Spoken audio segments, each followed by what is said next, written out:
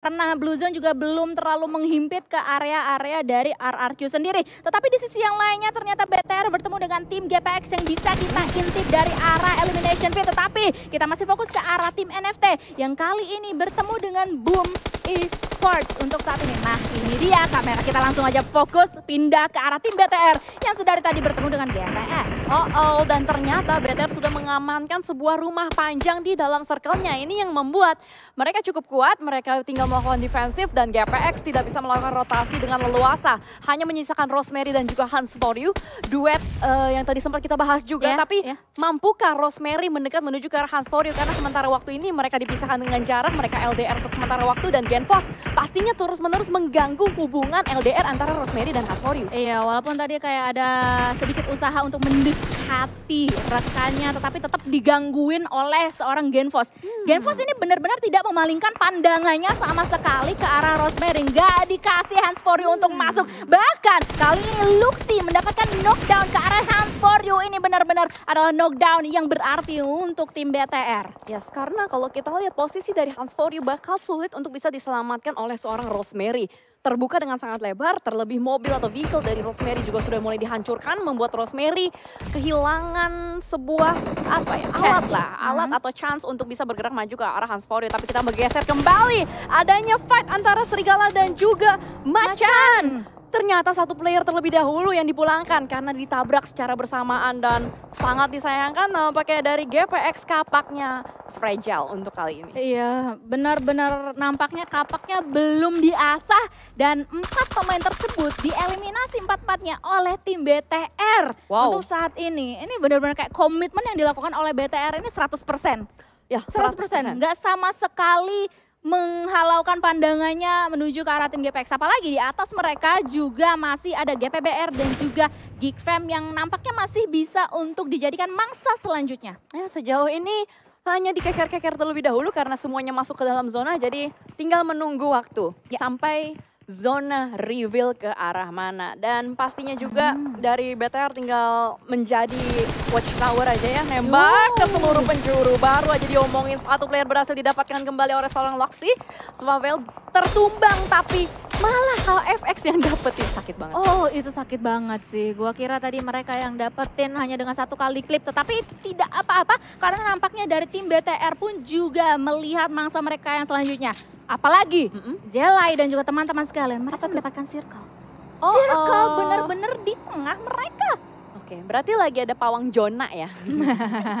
lagi menjadi pawang Jona sementara waktu ini. Tapi masalahnya kalau di tengah-tengah itu kan suka menjadi pusat perhatian. perhatian. Center Pus of attention. Pusat tata surya. Iya, alias mataharinya. Jadi mungkin akan di sergap oleh banyak tim, tapi sementara ini kita bakal melihat terlebih dahulu fight yang cukup panas sedari tadi antara Boom dan juga Evos akhirnya pecah juga di, di, di sini kita melihat dari Micro Blue akan berusaha untuk mencari meng-screening out player-player dari Boom dengan dua player yang masih survive Micro Blue dengan UMP Gaming badinya berusaha untuk nembak ke arah bagian depan tapi what happened? Okta ternyata yang berhasil Blue dan ternyata Evos yang harus dipulangkan terlalu dini. Tapi fight belum selesai, Dona Fiska masih ada Voin juga yang berusaha untuk menjadi third party. Itu Okta loh, dua itu Okta, Okta. yang mendapatkan eliminasi dua-duanya karena Micro Blue dan juga KF. Dan dengan begitu, seperti halnya yang tadi dimention oleh Jessica Jelly Azalisa Putri TSPU K kali ini Boom Esports. Oh, nampaknya. Oh my god, ini kayak dari tadi tidak difokuskan ke arah peperangan mereka tiba-tiba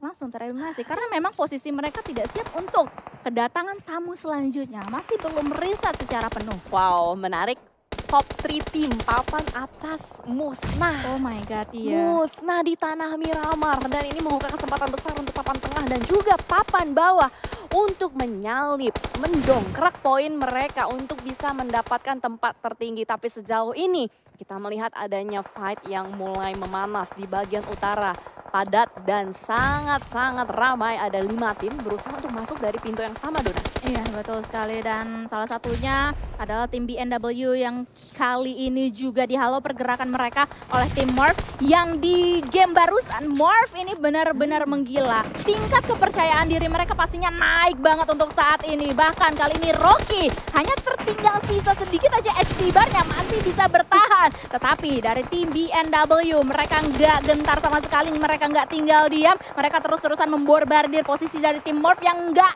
enak juga karena Morph nggak cuma mendapatkan pressure dari BNW, tetapi dari tim lainnya juga. Ya, sementara waktu kita melihat Morph lagi cosplay menjadi Samsak Tinju ya. Hmm. Semua tim nembakin ke arah Morph, tapi Zai! Zai is here baby! Dan berhasil untuk mengeliminasi banyak sekali player.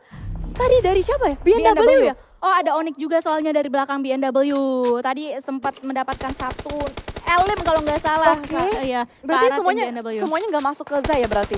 Harusnya sih ya. Kalau misalnya kita intip dari arah elimination fit. Oh iya benar. Well, nanti, nanti kita bakalan lihat aja Zay ke oh, iya, mana. Uh, tetapi ternyata Morph tereliminasi juga untuk saat ini meninggalkan 8 tim saja yang kali ini. Dua di antara mereka GPBR dan juga GFM bertegur sapa dengan menggunakan peluru-peluru panas. GPBR nggak mau tinggal diam saja karena mereka pastinya mau memanfaatkan dan juga memaksimalkan utility yang masih mereka pegang untuk saat ini. Wow, Onyx mendapatkan uh, advantage tertinggi untuk sementara waktu ya kalau kita hmm. lihat juga dan ternyata mulai ada banyak sekali player-player yang bertumbangan. Itu BTR tinggal nontonin doang loh. Yeah. BTR tinggal nontonin doang yang lagi pada perang di bagian atas, di bagian luar. Sejauh ini Onyx masih lengkap dengan 4 player, tapi mampukah Onyx bermain outer gameplay untuk bisa masuk ke dalam zona? Kalau misalnya kita lihat dari elimination point yang sudah dikumpulkan oleh Morph cuma satu ya.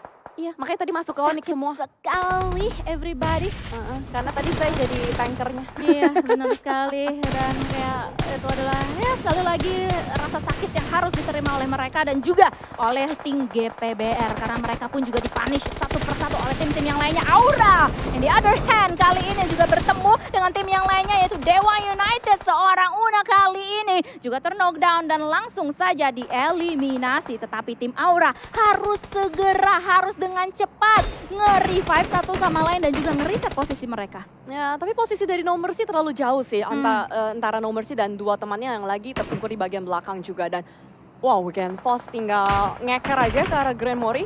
Nolak positioning dari Grand Mori nggak bakal dibiarkan keluar juga. Tapi sejauh ini kita melihat dari bagian utara.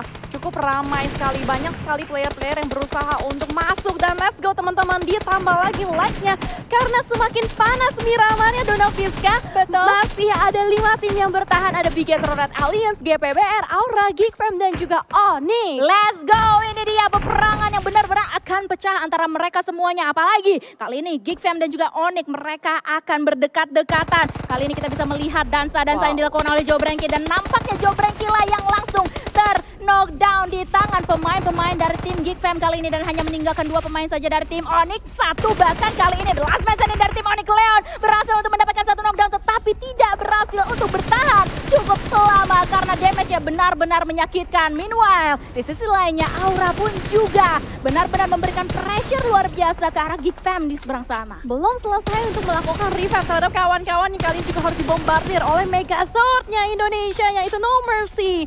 Satu persatu player-player dari Geek Fam dilahap dan menjadi elimination point untuk Aura Fire. Dan sementara juga BTR sih enak banget. Enak, BTR tuh ibarat kayak lagi liatin aja, oh lagi pada perang, lagi pada argumentasi. Tapi masalahnya mereka nggak secepat itu untuk senang.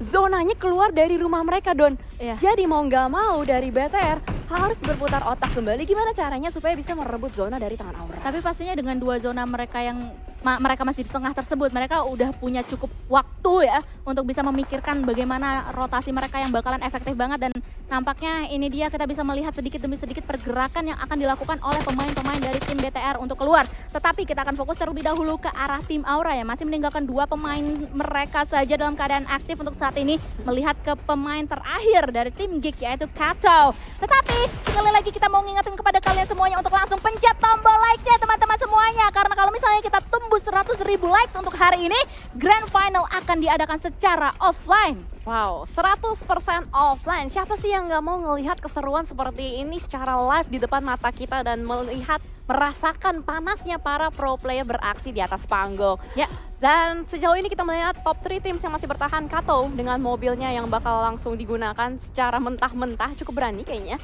dan atau benar-benar di lockdown abis dari kiri kanan digebukin waduh oh my God. ini juga Luxi ikut-ikutan ngebukin Kato nggak bisa ke mana-mana Kato benar-benar terlockdown di bagian depan dan kita akan melihat bagaimana cara BTR bergerak. Uh, wow, senjata oh baru Don dipakai sama Zuxi. Oh my god, ini dia. Ini kayak kalau nggak salah pertama kali kan kita ngeliat Kemarin ada Rosazi, Rosazi oh, pakai. ada.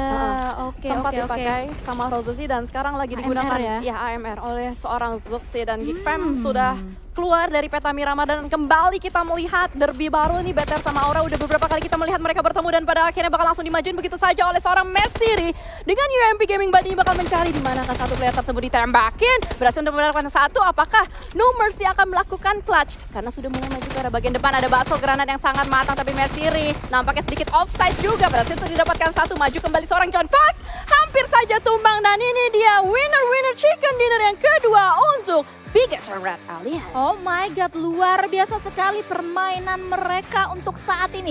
11 total eliminasi poin pun juga berhasil tim Bigetron kantongi. Walaupun mereka tadi mendapatkan circle mm -hmm. dari menit-menit tengah sampai late game, -hmm. mereka tetap aktif untuk mengabsenin satu persatu pemain yang lewat di depan mereka.